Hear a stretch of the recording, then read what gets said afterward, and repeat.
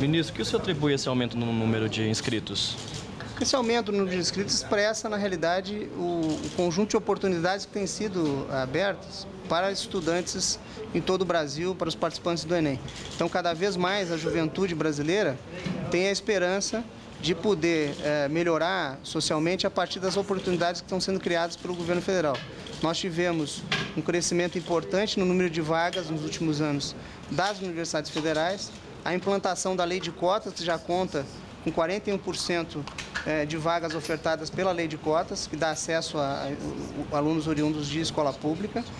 Nós temos também é, uma manutenção das bolsas do ProUni, o crescimento importante que nós tivemos, né? chegamos já a quase 1 milhão e 600 mil contratos no FIES, que permite que o estudante possa é, cursar uma faculdade com o financiamento do governo federal, com o financiamento do governo.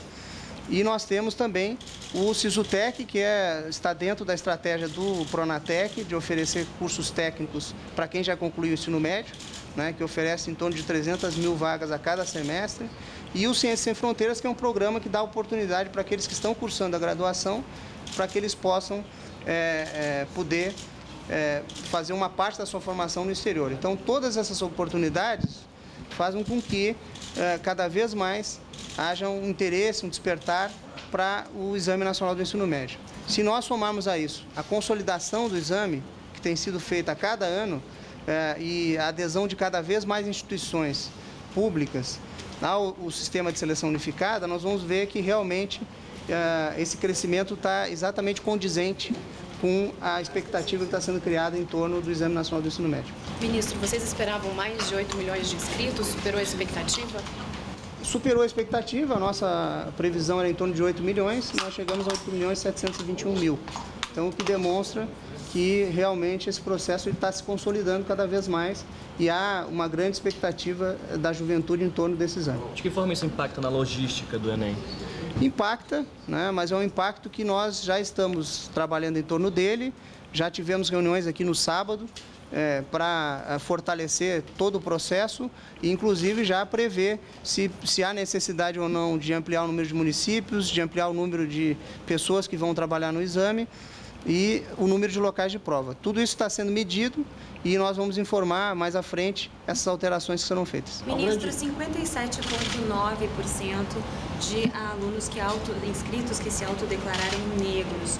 A que se atribui esse aumento e esses, esses estudantes terão acesso à lei de cotas? Eles já vão estar dentro da lei de cotas? Estarão dentro da lei de cotas e reflete, na realidade, a política que o governo federal vem implementando com a lei de cotas, que despertou né, nesses jovens é, negros o interesse cada vez maior é, por se inscrever e contar exatamente com essas vagas de cotas, não só nas universidades federais, mas no próprio ProUni, que também tem um sistema é, de cotas. Expressivo o número de pessoas acima de 30 anos que se inscreveram. A que se deve isso? Talvez pessoas que voltaram a estudar por conta do isso é um fenômeno interessante também. Nós temos, é, na realidade, uma dívida educacional grande no Brasil e é, nós temos em torno de 15% de inscritos que têm mais de 30 anos, significa dizer que as pessoas estão vendo que elas podem retomar os estudos, isso é muito importante para o país, e se qualificar cada vez mais. Então, essa é uma notícia boa também que nós temos em relação às inscrições. Ministro, com relação ao ProUni, começam hoje a, começa hoje o período de matrícula, um período de Copa do Mundo, tem feriado também. O senhor acredita que pode diminuir aí o número de, de, de alunos que podem perder a matrícula também, não? Eu acredito que não, porque na realidade o que nós estamos vendo em relação ao ProUni foi um crescimento de 50% em relação ao número de, de inscritos. Né? Então, significa dizer que há mais interesse também em torno da questão do ProUni. E, uh, mesmo com, com a realização da Copa, nós estamos fazendo um monitoramento permanente aqui com as instituições e temos certeza que não haverá prejuízo. Ministro, aproveitando o Rio Grande do Sul, esse aumento de 15% no número de inscritos é, tem a ver com a adesão das duas universidades? Tem a ver com a adesão da Universidade, adesão da Universidade Federal de Santa Maria, com a própria adesão da Universidade Federal do Rio Grande do Sul. E certamente eh, isso reflete também aquilo que nós estamos dizendo, que há um, um, crescimento importante do número de instituições, do número de vagas, eh, nas universidades federais, a lei de cotas, tudo isso faz com que o Rio Grande do Sul tenha esse crescimento. Tem uma previsão de resposta da UFSC eh, de adesão? A UFSC está discutindo internamente, nós estamos eh, prestando todo o apoio para essa discussão que está sendo feita interna, mas há uma onda, um movimento que faz crer que certamente a Universidade de Santa Catarina também vai fazer a sua adesão ao processo.